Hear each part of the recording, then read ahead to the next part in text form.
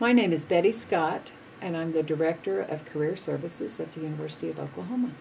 Uh, I guess my advice to new college graduates is, um, in terms of what the first step would be, would be to think of um, a number of different career options that might interest you and think about those options very broadly.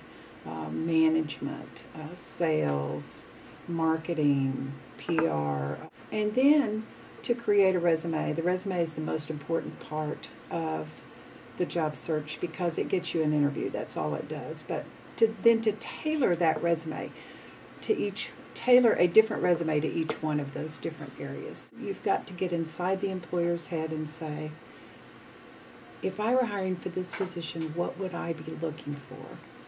If you answer the question inside the employer's head, what can this candidate do for me? And you do that on your resume, uh, you are, are pretty much assured that you will get it. You will get an interview.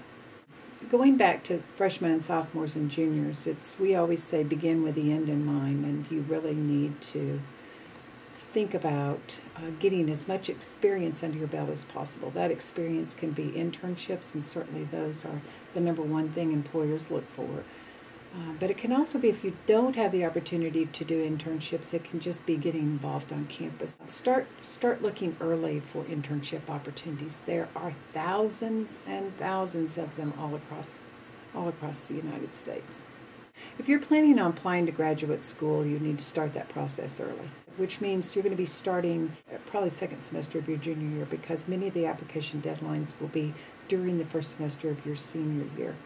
My advice to a student who's who's getting ready to graduate, maybe in May, and has not yet um, gotten a job is is that that's pretty typical. Um, most students, depending on their major, um, don't have jobs when they graduate.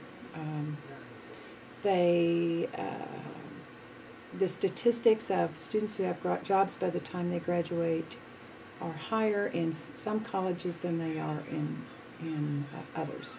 Uh, typical job search takes uh, three to six months. Just hit the ground running uh, as soon as you as soon as you can after graduation, and um, the sooner you get started, the sooner you'll have a job.